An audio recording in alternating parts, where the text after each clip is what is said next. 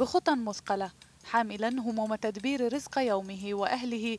يمضي فادي سليمان الموظف الحكومي في السلطة الفلسطينية إلى عمله رغم تأخر راتبه منذ أبريل على ضوء وقف إسرائيل تحويل الأموال إلى السلطة الفلسطينية. لما يتأخر رواتب كل برنامج الواحد بتأخر. يعني الواحد عليه قروض لازم يسدهم عليه دفعات عليه التزامات. فلما الراتب بتأخر إنه تخربش كل برنامجك.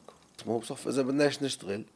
انه مش رح نرجع لشغلنا نروح يحكونا يعني إذا أنتم من أول أسبوع أو أول تأخر الراتب عليكم أسبوعين بطلت تيجوا على الشغل.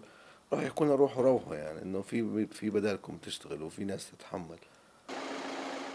ورغم الإفراج المؤقت عن الأموال الفلسطينية وتلقي فادي راتبه لدى تصويرنا معه هذا التقرير إلا أن هذه السياسة عززت المخاوف لدى موظفي السلطة بإعادة تكرار احتجاز الأموال خاصة أنها ليست المرة الأولى التي تجمد فيها إسرائيل إرسال الأموال إلى السلطة الوطنية الفلسطينية. أول ما تصالحوا بعد بيومين قطعوا الراتب فكيف لما بعد بشهر أو شهرين يعني؟